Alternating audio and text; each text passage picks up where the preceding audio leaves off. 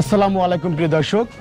দেশ এবং দেশের বাইরে, কাছে ও দূরে আপনারা যে যেখান থেকে আমাদের ভিডিওটি দেখছেন, আপনাদেরকে অসংখ্য ধন্যবাদ এবং আমার বিডি মার্কসটির পক্ষ থেকে আপনাদেরকে অনেক শুভেচ্ছা। বন্ধুরা, আজকে আমি অবস্থান করছি ময়মনসিংহ জেলা মুক্তাগাছা উপজেলা চেচুয়া বাজার সংলগ্ন। এখানে কিন্তু রূপালী এগ্রো হ্যাচারি অ্যান্ড ফিশারিজে আমরা আজকে অবস্থান করছি। এই হ্যাচারির মূল মালিক হচ্ছে প্রোভাইডার আলহাজ আহমদ আলী সাহেব এবং এই হ্যাচারিটা মূল দেখাশোনার জন্য যে এখানে নিয়োজিত আছেন তারই ছোট ছেলে মৌলানা মোহাম্মদ দেলোয়ার সাহেব। আমরা তার কাছে জানব এই হ্যাচারি সম্বন্ধে বিভিন্ন তথ্য এবং আপনাদেরকে জানাব। শুরুতে তার সাথে কথা বলি। আসসালামু আলাইকুম। ওয়ালাইকুম আসসালাম। কেমন আছেন? জি আলহামদুলিল্লাহ ভালো আছি। হ্যাঁ ভাইয়া আপনার কাছে আসলাম একটু আপনার এই হাতের সম্বন্ধে বিভিন্ন তথ্য আমার দর্শকদের জানাতে জানাতে আসলাম আর কি। আমার জানতে খুব ইচ্ছা করে যে এই মূলত হ্যাচারিটা আসলে কীভাবে পরিচালনা হচ্ছে বা আপনাদের কাছে কি কি মাছ পাওয়া যায় বা আপনারা কীভাবে ডিম থেকে রেনু রেনু থেকে পোনা তৈরি করছেন এই বিষয়টা একটু জানতে চাই আপনার কাছে আর কি। প্রথমে বলে নেই যে আমরা এখানে কি কি মাছ উৎপাদন করে থাকি। আমাদের মধ্যে সর্বোচ্চ কোয়ালিটি সম্পন্ন হাই টাইগার মনোসেক্স তেলাপিয়া হয় এবং পাবদা গুলশা ট্যাংরা শিং মাগুর মলা তারাবাইং এই জাতীয় মাছগুলো আমরা করে থাকি। আচ্ছা। এবং সর্বোচ্চ কোয়ালিটি সম্পন্ন মেনটেন করে আমরা ডেলিভারি দিতে থাকি। আচ্ছা এই যে আপনারা এতগুলো মাছ এখানে উৎপাদন করেন। এই মাছগুলোর পিছনে আসলে আপনাদের কি কোনো দক্ষ কারিগর রাখা আছে? জি আমাদের প্রত্যেকটা মাছের পিছনে টেকনিশিয়ান আছে। ধরেন যে তেলাপির দেখাশোনা করে তার জন্য তেলাপির টেকনিশিয়ান আছে আর যে ক্যাটফিশ দেখাশোনা করে তার জন্য ক্যাটফিশের আমাদের টেকনিশিয়ান আছে। আচ্ছা সেক্ষেত্রে আপনারা যখন এই মাছগুলা আপনার টেকনিশিয়ান টেকনিশিয়ান দ্বারা আপনারা রাখেন তাদেরকে কীরকম ধরনের বেতন দিতে হয়? যে এই কাজটা টোটালি এই কাজটা দক্ষতার উপরে। আচ্ছা, আচ্ছা। আমরা দেখি তার পিছনের ব্যাকগ্রাউন্ড দেখি তার কেমন দক্ষতা আছে। দক্ষতার ভিত্তিতে আমরা তার বেতনটা নির্ণয় করে থাকি। আচ্ছা আচ্ছা। তো ভাইয়া আপনি আমাদের আজকে আপনার হ্যাচারিটা ঘুরে দেখাবেন। হ্যাচারির আপনারা কীভাবে ডিম ডিমটা আপনারা কালেকশন করছেন এবং সেই ডিম থেকে কীভাবে রেনু রেনু থেকে পোনা কীভাবে তৈরি হয় এই বিষয়টা আমাদেরকে খুঁজে দেখাবেন। তো ঢুকতে আমি দেখেছি আপনার পুকুরে কিছু শ্রমিক কাজ করছেন তো ওখানে কি হচ্ছে এইটা আমাকে দেখাবেন চলেন।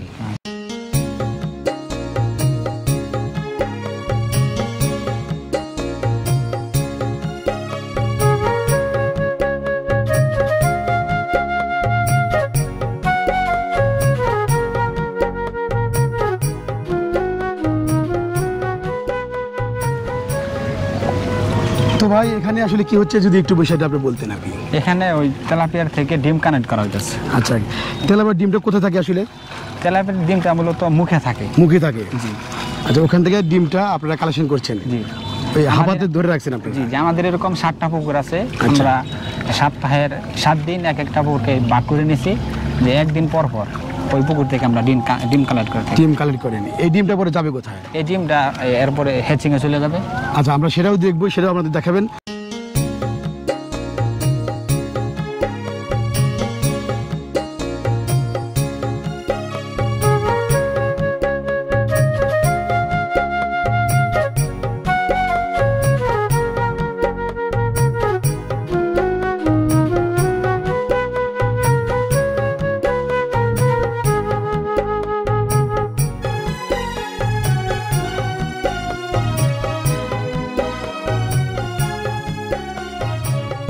আমরা দেখলাম যে ওখান থেকে ডিম নিয়ে আসলো। তাই এখানকার কাজটা কি আসলে? যে এখানে আপনার ওই ডিমটা নিয়ে আসে এখানে কিছু সাইফেনিং করা হয়। আচ্ছা। ডিমের ভিতরে যে কিছু ময়লা থাকে ওই ময়লাটা বের করে এটাকে ক্লিয়ার করে একদম হ্যাচিংয়ে ঢুকানো হয়।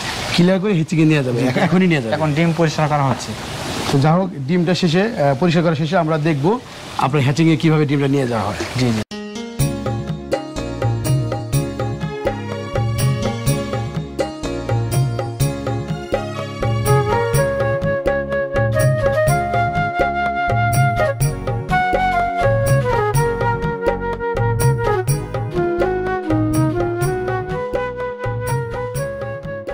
এখানে কি হচ্ছে যদি আমাকে একটু ভেঙে চলে বলতেন আর কি। জি ভাই ওখানে দেখলেন যে ডিম কানেক্ট করতেছে। জি জি। ডিম কানেক্ট করে ওখানে সাইফেলিং করে এরপরে আমরা টেতে এবং ঝাড়ে ডিম দিয়ে দেই। এখানে বাহাত্তর ঘণ্টা পরে ডিম থেকে ডিম থেকে রেনুতে রেণুতে পোনাতে রোমান্তরিত হয়। আচ্ছা আচ্ছা। পরে যেখানে কিছু ফোন আছে। তামিজ কোথায়? বুঝলেন তামিজ দেন।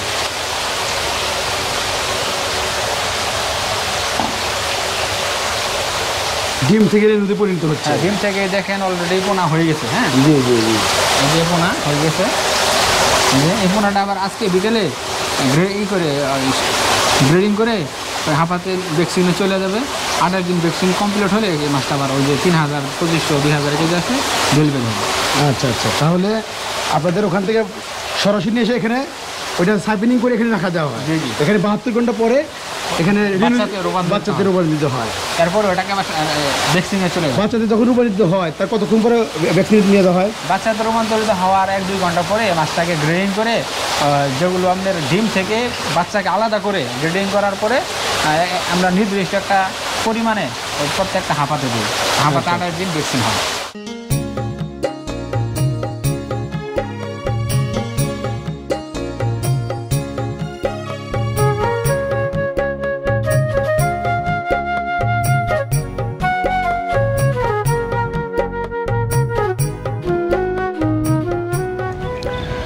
তো ভাই যদি আমাকে একটু বলতেন যে এই যে হাফাতে আপনি ছোট ছোট মাছগুলো রাখছেন রেনু এটাতে কি হচ্ছে যদি এটা বুঝিয়ে বলতেন আমাকে একটু? জি দাদা ওই যে আমরা হেচিংয়ে ডিম থেকে যখন মাছ রেণুতে রূপান্তরিত হয় আচ্ছা। এরপর আমরা মাছটাকে গ্রেডিং করে একত্রে রেখে ওখান থেকে একটা নির্দিষ্ট পরিমাণ অনুযায়ী আমরা এক একটা হাঁপাতে দিই। তারপর হাঁপাতে আমরা আঠাশ দিন ভ্যাকসিন করি আঠাশ দিন শেষ আমাদের ভ্যাকসিন কমপ্লিট হলে এখান থেকে মাছটা ডেলিভারি পার্টিদের চাহিদা অনুপাতে আমরা মাছ ডেলিভারি দিয়ে থাকি।